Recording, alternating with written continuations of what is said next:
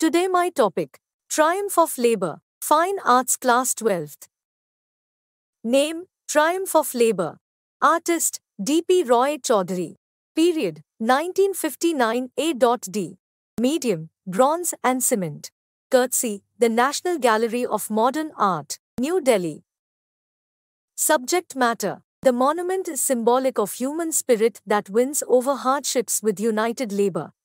विषय वस्तु स्मारक मानव भावना का प्रतीक है जो एकजुट श्रम के साथ कठिनाइयों पर विजय प्राप्त करता है it is a brilliant study of four human figures with rippling muscles their personal moment of intense physical effort, captured for the world to see and appreciate their daily sweat and labor for livelihood. यह लहरदार मांसपेशियों के साथ चार मानव आकृतियों का एक शानदार अध्ययन है। उनके तीव्र शारीरिक प्रयास के व्यक्तिगत क्षण, दुनिया के लिए, आजीविका के लिए, उनके दैनिक पसीने और श्रम को देखने और उनकी सराहना करने के लिए कैप्चर किया गया। The sculpture is the focal point of May Day celebrations as the first one was celebrated here. मूर्तिकला मई दिवस समारोह का केंद्र बिंदु है, क्योंकि पहली बार यहाँ मनाया गया था। Description This work stands amidst the several statues in the Marina, the world's second longest beach in Chennai. विवरण यह काम चेन्नई में दुनिया के दूसरे सबसे लंबे समुद्र तट मरीना में कई मूर्तियों के बीच खड़ा है In this sculpture, four laborers are engaged in the task of moving a block of stone with the help of wooden log staffs. इस मूर्ति में लकड़ी के लट्ठों दंडों की सहायता से पत्थर के एक खंड को हिलाने के कार्य में चार मजदूर लगे हुए हैं These four figures are perfect anatomical studies of men engaged in an extremely difficult task of lifting a huge rock.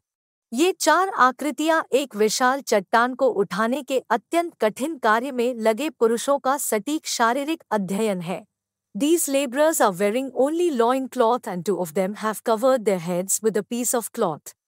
इन मजदूरों ने केवल लंगोटी पहन रखी है और उनमें से दो ने अपने सिर को कपड़े के टुकड़े से ढक रखा है। They are engage in their work with full force वे पूरी ताकत से अपने काम में लगे हुए हैं। Two are bent forward and applying force with the hands while the remaining two are using the wooden staffs to approve the boulder from its base दो आगे की ओर झुके हुए हैं और अपने हाथों से बल लगा रहे हैं। With their action and strained body muscles, one can feel their strength and effort. जबकि शेष दो लकड़ी के डंडों का उपयोग करके बोल्डर को उसके आधार से उखाड़ रहे हैं। Each muscle of the body shines in sweat and physical exertion उनकी क्रिया और तनी हुई शरीर की मांसपेशियों के साथ कोई भी उनकी ताकत और प्रयास को महसूस कर सकता है। This splendid sculpture depicts an inspiring example of teamwork of laborers engrossed in a strenuous work. पसीने और शारीरिक परिश्रम में शरीर की प्रत्येक पेशी चमकती है The most distinctive features of this group are its universal appeal and rare quality of mobility.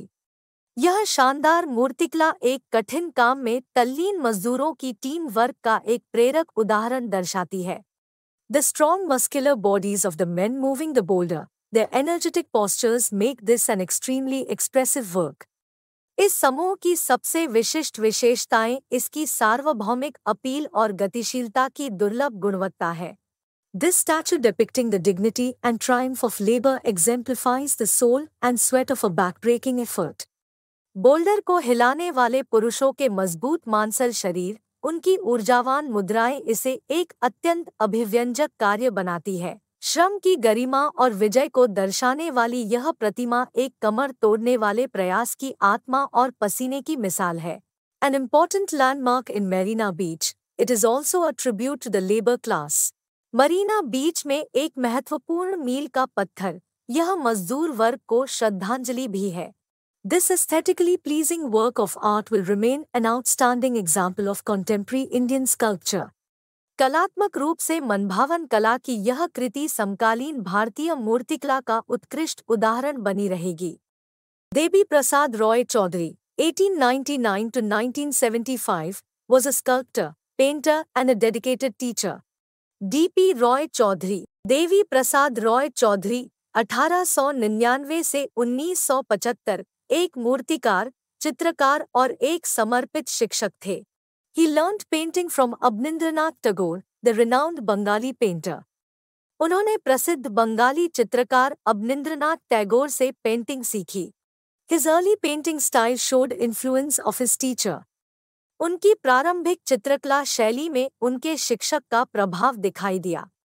He moved to Chennai to join the Government College of Fine Arts, first as a student and then worked there as the head of the department. वह ललित कला के government college में शामिल होने के लिए चेन्नई चले गए, पहले एक छात्र के रूप में और फिर वहाँ विभाग के प्रमुख के रूप में काम किया Then he progressed to vice principal and the principal till his retirement in 1958.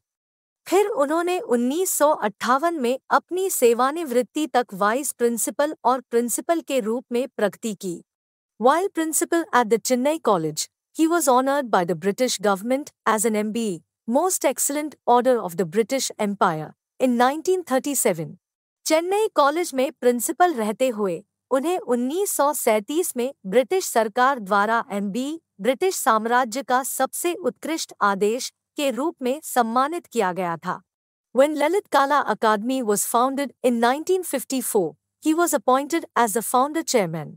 जब ललित कला अकादमी की स्थापना हुई थी उन्नीस सौ चौवन में उन्हें संस्थापक अध्यक्ष के रूप में नियुक्त किया गया था। Chowdhury chose his figures from the crowd in the streets mingling freely among men and women of underprivilege class in preference to studio models Chowdhury ने सड़कों पर भीड़ से अपने आंकड़े चुने स्टूडियो मॉडल के बजाय वंचित वर्ग के पुरुषों और महिलाओं के बीच स्वतंत्र रूप से घुल मिल गए। His range of sculptures included a large number of bust life-size statues, and larger-than-life size works. उनकी मूर्तियों की श्रृंखला में बड़ी संख्या में आवक्ष प्रतिमाएं आदमकद प्रतिमाएं और आदमकद कृतियां शामिल थी his paintings that were an amalgam of the Chinese technique and the Japanese wash process. उनके चित्र जो चीनी तकनीक और जापानी वाश प्रक्रिया का मिश्रण थे The government of India awarded him the third highest civilian honor of the Padma Bhushan in 1958 for his contributions to art. कला में उनके योगदान के लिए भारत सरकार ने उन्हें उन्नीस में पद्म भूषण के तीसरे सर्वोच्च नागरिक सम्मान से सम्मानित किया। Works paintings and inmate of harem Ras Leela a dramatic pose of a कृतिया paintings and inmate of harem Ras Leela a dramatic pose of a thanks for watching this video Please subscribe my channel for more videos and press the bell icon for instant notifications.